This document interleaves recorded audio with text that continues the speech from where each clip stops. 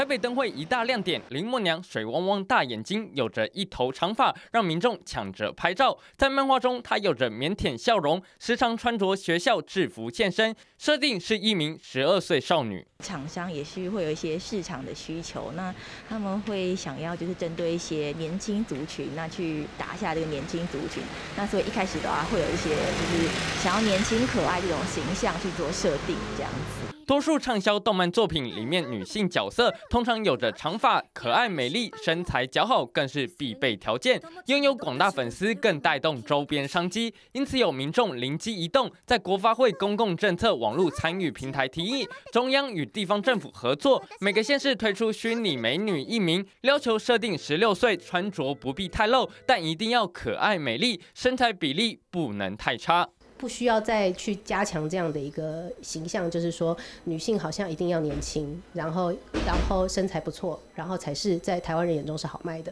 对，那这个其实是我们在呃想象一个多元的台湾社会的时候，这其实是非常一个贫乏的方式。